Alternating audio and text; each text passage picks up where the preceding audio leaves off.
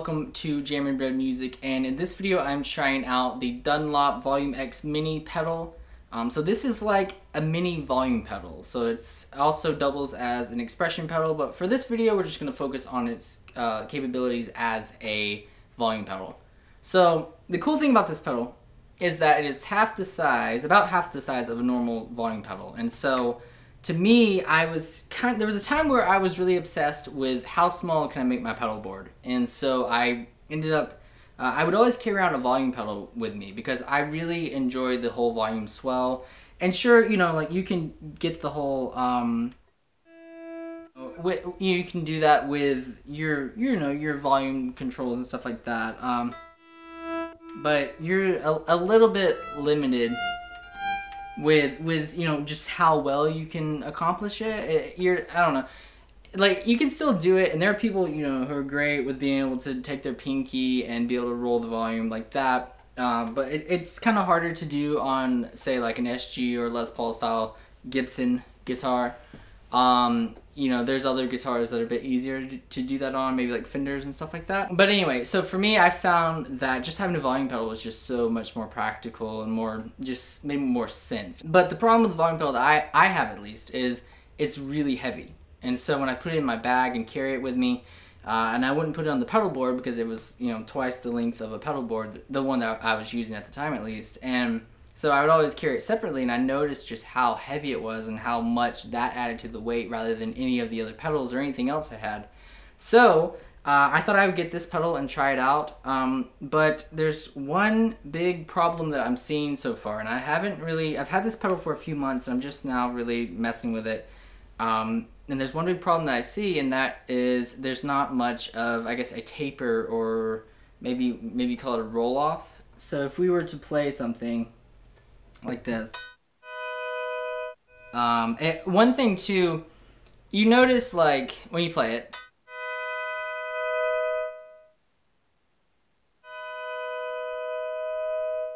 like there is a buildup of volume. It definitely goes from you know zero to whatever, and, and it increases, which is great. But compared to the other volume pedal, which I'll probably drag out in a second, it's not quite the same and it's not quite as good. Um, you can really tell with distortion. So let's try this. So this is our distorted tone. This is a bit intense. Oh my gosh. Okay, let's try that again.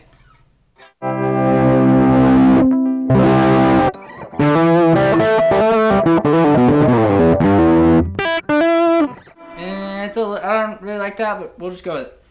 Um, so if we try like what we were doing for the intro. Um, and so without distortion and without the, the reverb effect, by the way, we're going to take that off as well.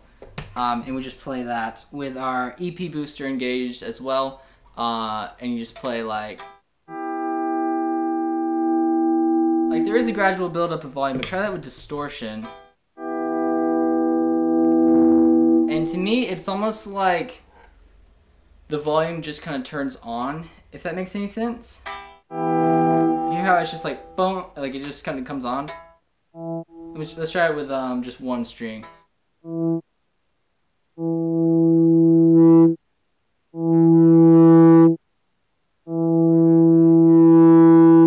There isn't much of a ramp or a progression from 0 to 10. It's almost like 0 to 5 to 10 or something like that. Like um, or, or 5 in, in between 10. There's not much from 0 to 5, if that makes any sense. And like I said, I'll get another volume pedal and we can try it out to maybe get a better sense of how it actually sounds, or should be sounding, in my opinion.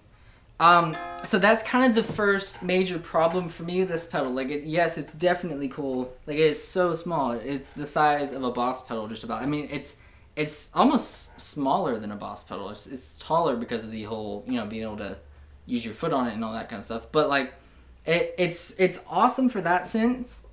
Um, and maybe it works better as an expression pedal because there seems to be some more functionality added into the pedal because of that. But as a volume pedal, I'm just not quite sure about it. Okay, so now I have the Ernie Ball. This is like an old Ernie Ball volume pedal. So uh, if we try this, and again we do like the uh, the beginning thing, sort of the beginning thing.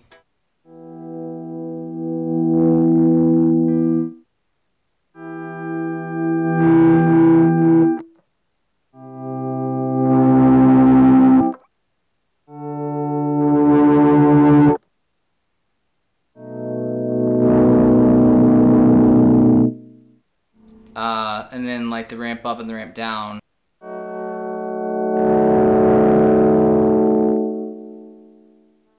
The ramp down on this pedal is pretty severe, but um, but take like a single note.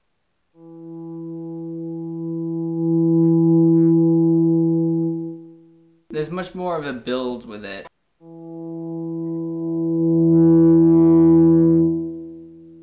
And it kind of like, it lets it kind of grow a bit. It doesn't just start off and then build up. So what I'm gonna do, let's compare them. So all we're gonna do is switch out the volume pedal. So uh, let's hit like, I don't know, the seventh fret on the A string. So again, one more time.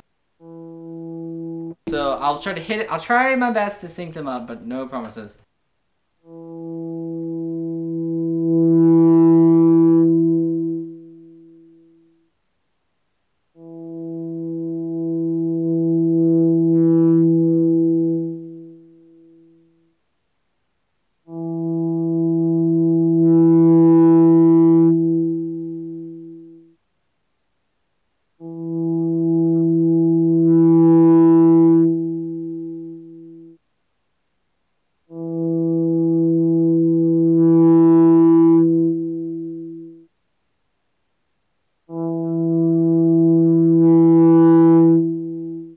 Just want to jump in here and show the waveforms. Uh, you can actually see the top one is the uh, you know the full volume pedal, the big one. So you can actually see how, especially in the second waveform, how it's kind of it jumps up a little, but then it slowly rises up. And then with the second one is the mini pedal, and you can see just how sharp it just goes like straight up like that. It's crazy. So I guess this can maybe kind of prove my point a little better. So enjoy. So compare those. Maybe it's my imagination. Maybe it's not. I don't know. But to me personally, it's not. It's not that bad to be completely honest. So like, let's try some stuff here. Um. So like. Oh gosh.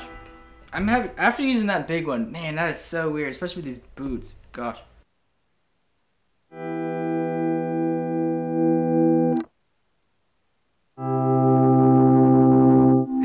Like it just turns on. Like it's it's weird. It's almost like a kill switch. Like you're turning on a kill switch.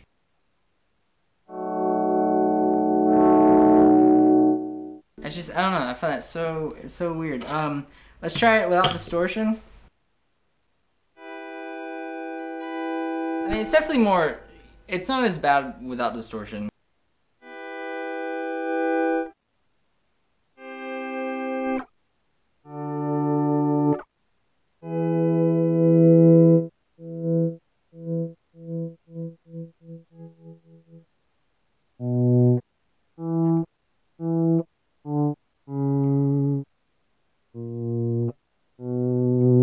I don't know, like I said, maybe it's my imagination, but a lot of the time you when you play it, it just sounds like it's just turns on and off. It's weird.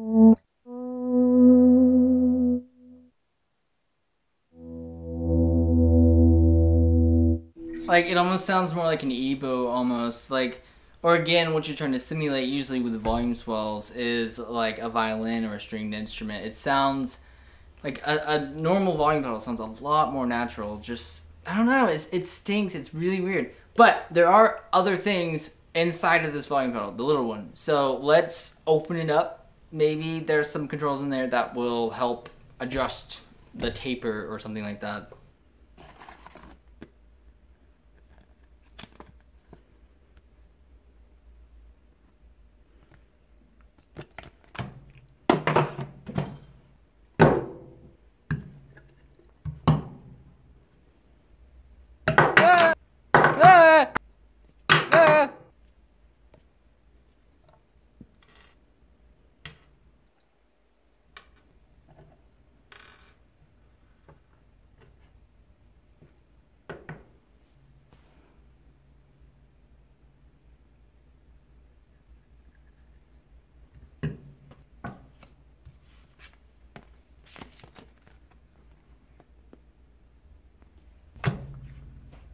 I'm an idiot. This has nothing to do with the volume. Wait, this is random. I have this randomly. And of course I do that after I already did all the other ones. Perfect. Now, the stuff on the inside is really cool, but like it doesn't help it at all as being a volume pedal. The other, one thing was like, what was it for a tuner? The other thing was for an expression pedal. I don't know. It does stuff which is awesome. You know, that's so cool that this pedal has so many different functions. But I feel like it just doesn't really function well as a volume pedal. Um, you can adjust the taper, or not not necessarily taper, but the the friction. So how easy it is to to push the pedal, which I have done in the past. And again, that's really cool. I, I like having added functionality, but again, it doesn't really fix the biggest problem, and that is that it's just not a great volume pedal.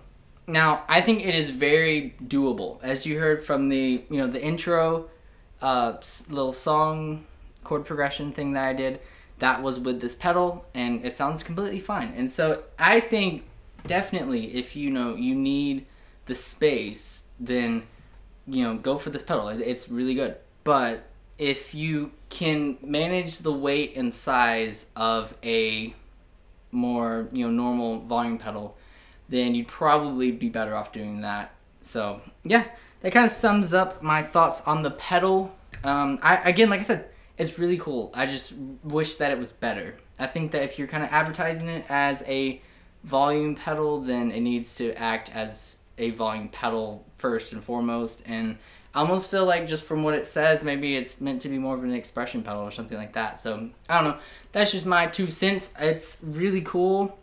Great build quality, it seems like. It's, it seems awesome. It's just not really for me, I guess. So, if you enjoyed this video, or found it helpful, or whatever, uh, then leave a like. Uh, I'd really appreciate that. I'm just kind of starting off. Um, also, consider subscribing to be notified whenever I make more videos. Well, to be notified, you have to hit the little bell thing, but whatever. We won't worry about that. Um, and yeah, just let me know in the comment section below what you think about the pedal. Do you think there's much of a difference between this one and the other one I was using? Or do you prefer one to the other? Or do you have this pedal? What are your thoughts on it?